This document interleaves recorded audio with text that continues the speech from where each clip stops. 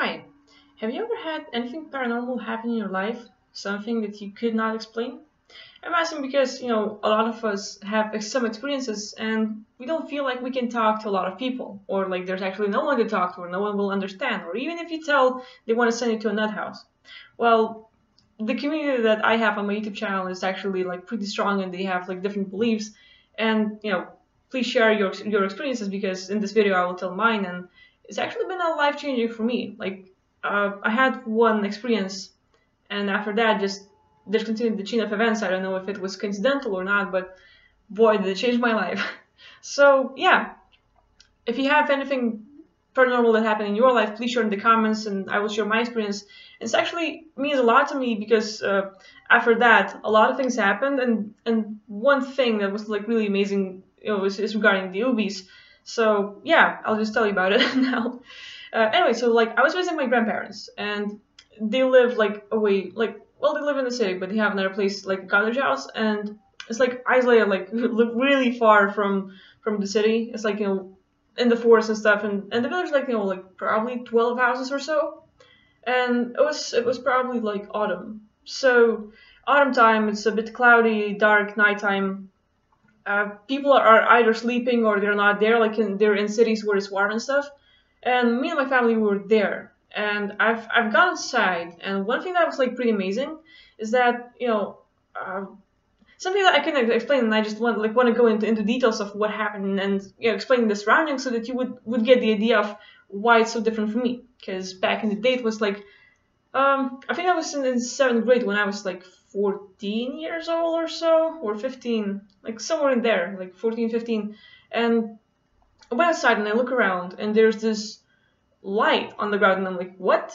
You know, and, and the light is like, you know, the, the circle is like 25 meters long, like, you know, just like the whole thing, like, um, it's, it's not just one circle. There's like five of them and I'm like, okay.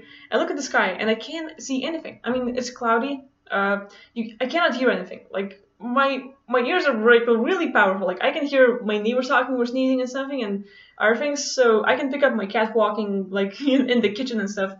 Uh, so pretty loud cat.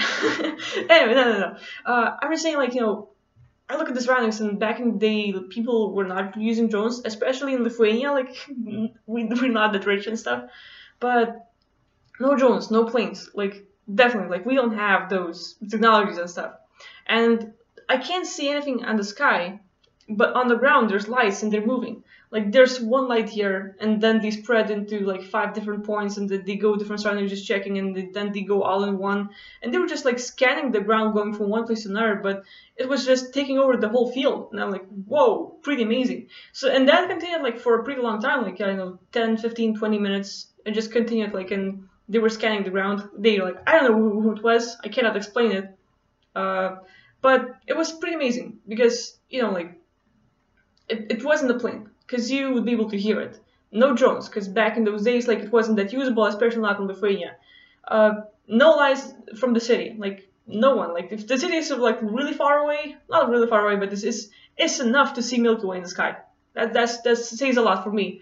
Uh, neighbors, they're sleeping or they're out in, in where it's warm and stuff, so no one's around. It's just like, and I'm here standing and there's like lights, and I'm like, wow, pretty amazing. So I go to bed, and that was like one of the more, more uh, amazing experiences for me because like when I went to bed, I actually got out and opened, got, got out of body. Like I went to sleep, got, got out of body, I opened my eyes, and I'm on a spaceship. Like what a coincidence. I, I don't know what it was in the sky, all right? like it's just like maybe. But uh, I woke up in this in the spaceship, and there's captain like hey we've been waiting for you. Like he didn't see your sign. I'm like what? You know like so this whole thing uh i think like it's just a big like possibility. Like they, they might have shown the site for me like here on lights and stuff.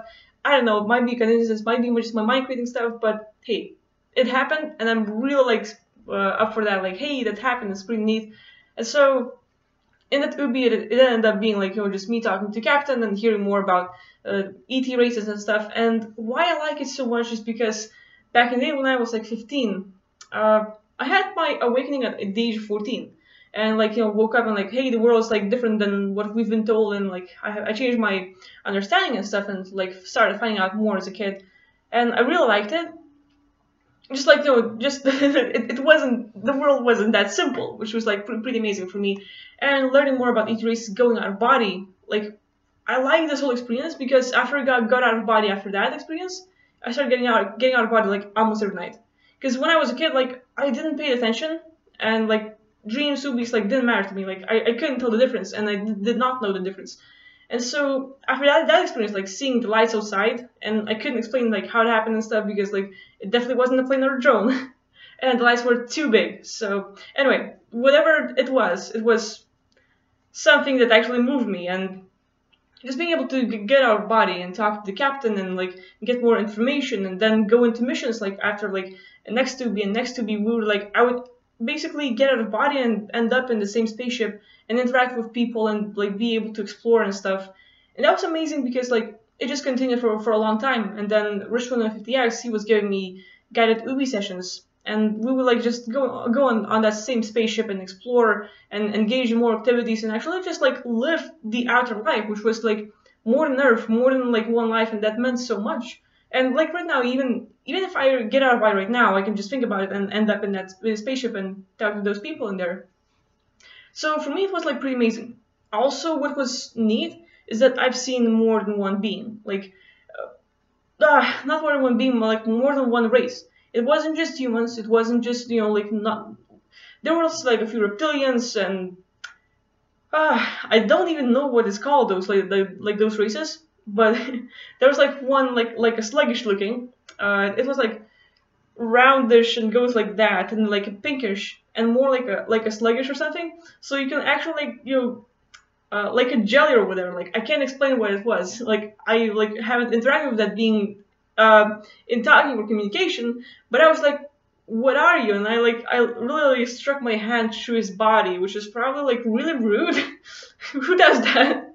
Um, and I get out and it's all like all of jelly, but it being like he he felt it, but it didn't destroy body or like whatever, and he just looked at me and like just looking what I'm doing and stuff, and that was like pretty neat. Like, and and that is one being, but there's like all kinds of humanoids and different bodies, like you know, with tails and you know, like others like weird looking creatures. Like I I can, I, I can hardly explain because of my English and stuff, but I can actually like probably try to draw it because I'm better there, and yeah, so it's pretty amazing. Like and having some paranormal experience or something that I couldn't explain in real life getting out of body after that and just starting to get out of body like a whole lot more and then interacting with other races and beings and that's that's pretty neat.